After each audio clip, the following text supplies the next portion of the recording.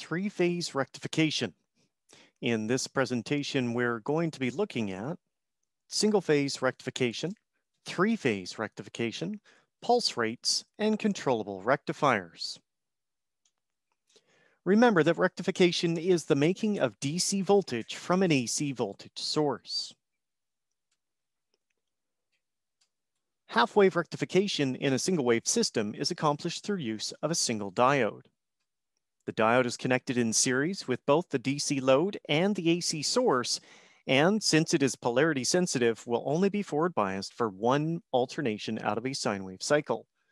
Due to this, a single diode in a rectification scenario will output a very choppy DC voltage to the load. And due to this large gap of zero volts between the positive bumps will render a very low DC voltage. For single phase half wave rectified systems, the E max of the AC system multiplied by 0.318 would then equal the E average or DC voltage measured. By contrast, a full wave rectification system uses four diodes, either manually assembled together and soldered or as a single solid state component, which we see on the right-hand side. There are two connections for AC and two connections for DC. In this situation, we have not only the positive alternation on the AC sine wave, but the negative alternation that is then translated to positive on the DC output side. In this situation, we have four diodes where a pair is conducting at any given moment. Due to the lack of zero volts being applied across the load, the DC voltage that we would expect to measure is much higher. For single wave phase full wave rectifiers, the Emax value of the AC sine wave times 0.637 would equal the volt DC meter measurement value. There are two methods to rectify three-phase AC sources, half wave and full wave. In half-wave systems, we require three individual diodes with a common connection on the end of the pointing uh, section. So we have here a common connection.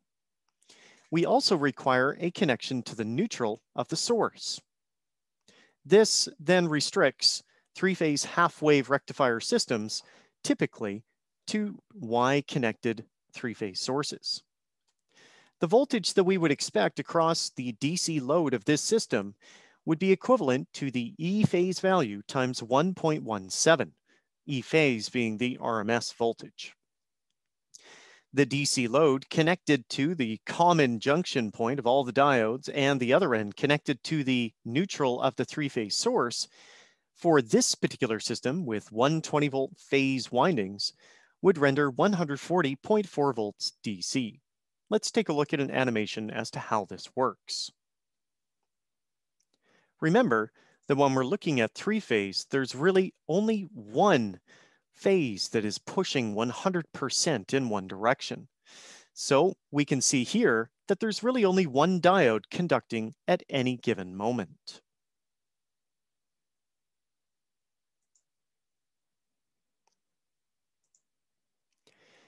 We can see the DC waveform across the load. It is much better than single phase full wave, but there is still quite a bump as we move from A to B to C and back to A. Now, the amount of bump that we get is referred to as the ripple frequency. And the ripple frequency can be calculated by taking the number of diodes in this situation and multiplying it by the supply frequency, which would be 60. So 3 times 60 would equal 180 hertz ripple frequency on the DC output. The other form of rectification we have is three-phase full wave. In this situation, no neutral is required, but we do need six diodes. In this particular arrangement, all the diodes face the same direction. They are all connected tip to tail in three single lines, and the three phase is connected as we see here. Finally, the load is connected in parallel with the entire assembly. The average DC voltage that we would expect to measure across a load in a full wave three-phase rectified system is the line voltage times 1.35. The line voltage in this system being 208 times 1.35 equals 280.8 volts DC. Let's look at an animation of this system. We can see with the AC on the far left-hand side that only one diode is going to be conducting at any given moment. But notice that because of the orientation of the three or the six diodes, that it's actually conducting for both the positive and the negative alternations, which is the same as what we would expect to see in the full wave single phase rectified circuit. In this way, we can see there is far less uh, big drops in the voltage from the peak value down to where we transition to the next phase. Again, ripple frequency can be calculated, and because we have six diodes, six times 60 gives me a output ripple frequency on the DC of 360 hertz. We've already looked at two pulse rectifier, which would be a single phase full wave rectifier. We have 120 hertz ripple. With three pulse rectifier, we go up to 180 hertz ripple. With six pulse rectifiers, or three phase full wave, we go to 360 hertz ripple. And we even have systems that require the use of a separate transformer, which would be a 12 pulse rectifier. Now, this is a far more complicated system, one that we do not delve into. But what you'll notice is that the ripple frequency has increased substantially, up to 720 on a 60 hertz system.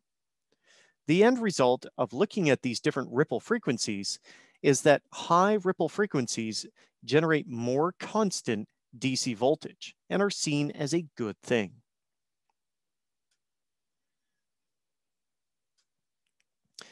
Rectifiers can be controlled, and we know that we can control them through the use of SCRs. We have rectifiers that are semi-controlled, as in this situation, where only two of the diodes have been replaced with SCRs. We have full controlled rectifiers, where we have all of the uh, polarity sensitive control devices being SCRs. We also have a much more simplified version of this by putting a single SCR in series with the DC load. In three phase, we have the same type of function.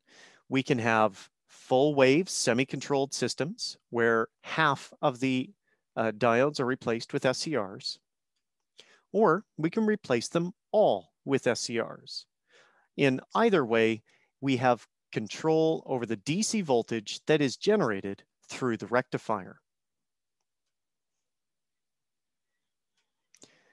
Controlled rectifiers and standard three-phase rectifiers are all over industry. This is an example of a standard, non-controlled, three-phase full-wave rectifier. There are six diodes mounted in this assembly, and there are five bus bars. The three bus bars at the bottom are for the three-phase. The two bus bars on the upper right-hand side of the assembly are for the positive and negative DC. This is a much smaller uh, rectified system, and we see there are six diodes, which means this again is a full wave three-phase rectifier. Yet another one, but much smaller, with significant cooling fins on the side to wick the heat away from the solid state components in the center. Battery chargers utilize controllable and uncontrolled rectifiers in order to charge batteries. UPS systems are an example of an item that charges batteries and it uses the AC coming from the grid in order to do this. Welders use controllable and uncontrolled uh, three-phase rectifiers in order to establish the uh, welding arc in order to connect pieces of metal together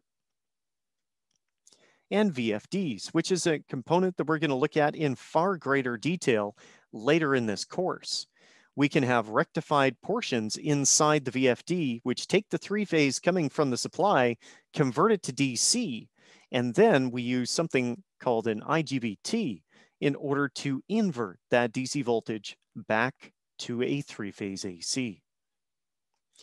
Power supplies for LED lighting, as well as cathodic protection systems where we use DC current in order to protect uh, the slow degradation of metal that is in contact with the earth.